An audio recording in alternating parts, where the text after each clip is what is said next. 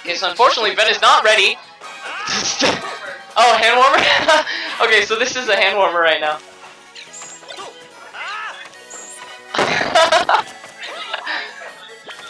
Alright. So Matt about to get some free percent here at the start of the match. Ven might actually be opting to go Corns just so he can get in uh, a lot quicker. So he doesn't get walled out by Link. I'm gonna go ahead and actually confirm which round of winner side this is.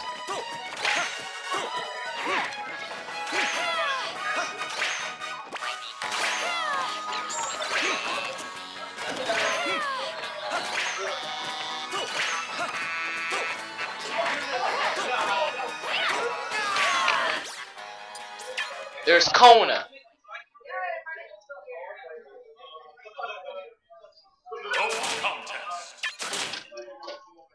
Uh, where'd DJ go? Okay, so that concludes the hand warmer, I believe. Wonder if Edgar and Fail are playing right now. Oh, we're actually running loser's side too. Navi's in loser's side. Okay, anyways, getting back into the match. Uh, I am joined with my friend Zerx here. Zerx, you are connected. Uh, you're connected. Oh, you can't. I can't hear anything either. It's fine. Yeah. Okay, so Ven already off to a great start, getting 50%. Matt's gonna. Matt's still sticking to the kind of uh, projectile-based damage here. Ooh.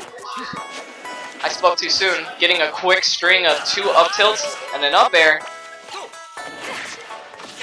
That's such a cute movement from Link when he does that um, jump cancel bomb throw and his arm still moves up.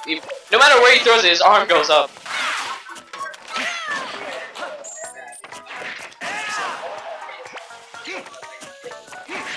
Well, maybe his uh, in-game tag, but as far as I've known him, he goes by Matt, and he actually took the first stock off Ven, so he's, he's sitting pretty nice. All he has to do is play a slow neutral, play... Oh, this might be it.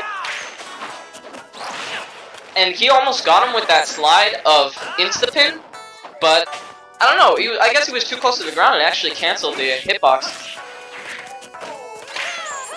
We're seeing some great patience here from Matt.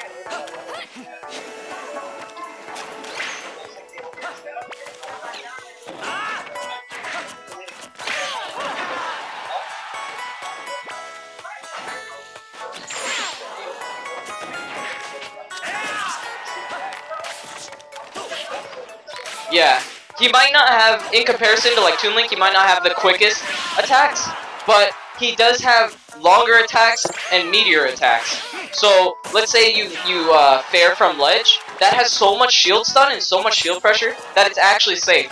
like if you try to punish it, he can grab you or jab you. And look at Matt running away with his lead here at 70%, and he almost traded with that down air and did get a kill.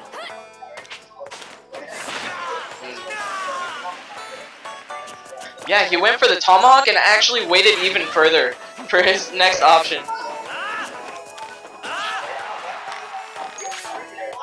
Yep.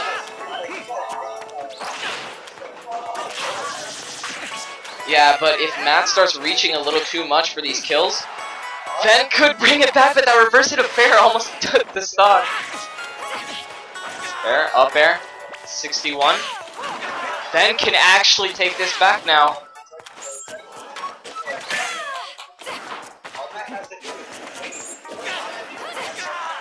Yeah, Matt was getting a little bit impatient, and now we're seeing an even game here. All Matt really needs is an up air, F tilt, or a fair, I believe. Okay, good luck, Zerx. So now Matt kind of stuck in the corner here, waiting for uh, one of the kill options to open up for him. He's got to be aware of insta-pin, how quick it is. Almost getting the bomb up air. True, but not quite true enough there. He possibly could have converted a fair off that as well.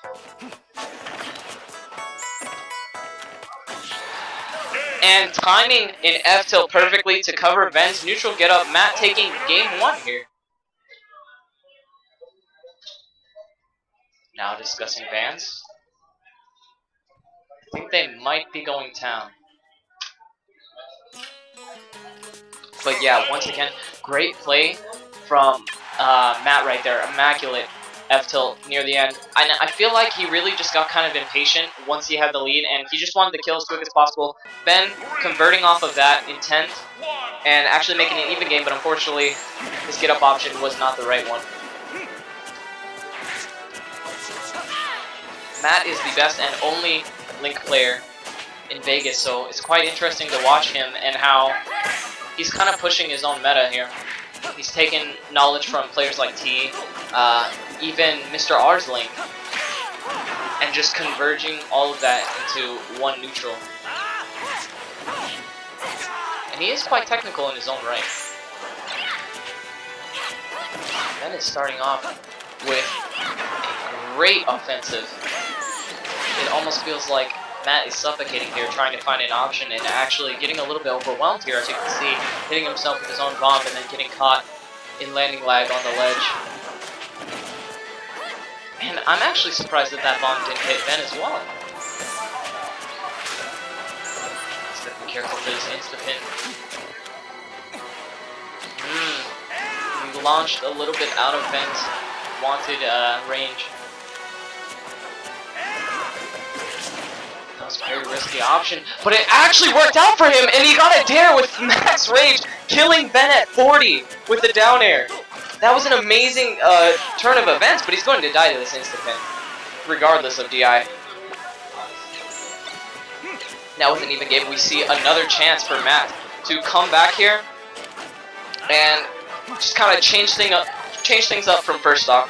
So, uh, Turtle, what we saw right there was Matt getting taken all the way to 140% by Ven, and then turning it all around with one ledge scenario, getting a down air at 40 and spiking Ven. Yeah, so now he actually has the advantage here with the game up on Ven. He yeah, he could actually take this set. Plenty of points.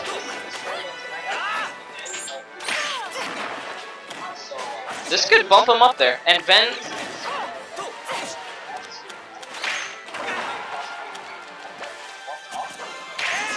Uh, depending on how he runs through loser's bracket, that might be the case.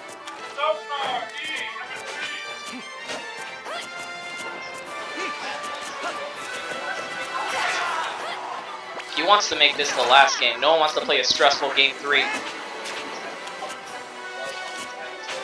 Yeah, and we saw this in game one as well. As soon as he gets the lead, he starts getting a little bit uh, antsy for the kill, and then, yeah, you gotta be careful for that. Oh.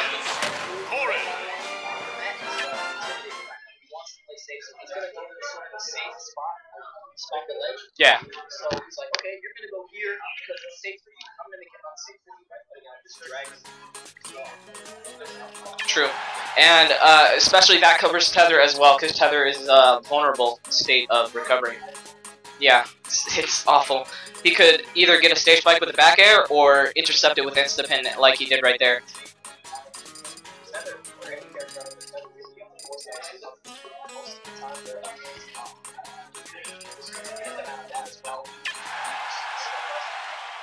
Yeah. And I feel like uh, Matt was trying to grab a bomb there to try to extend his recovery if he did get forced back farther, but Ven capitalized on that, so. Okay, so we have another even game, and we're running it back to Battlefield. Let's see if Matt can have a luckier run on his first stock than he did last time. But unfortunately, it looks like Ven is, uh, he's one to go after the, uh, okay, I thought that would have been a fair. He's one to go after that Tomahawk quite often. You can expect that from his neutral, but you also gotta be afraid of insta-pin and, like, landing with Nair. They're dangerous.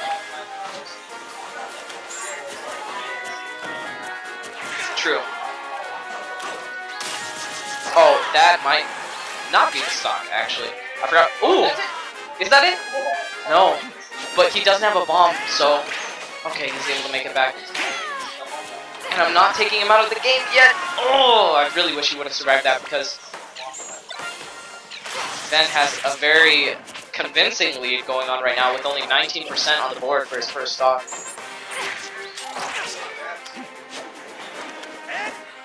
Man, it's almost like Ven uh, flipped a switch into this game three, and he's just showing him. He's showing him why he's up there, and it's just uncontested percent right now.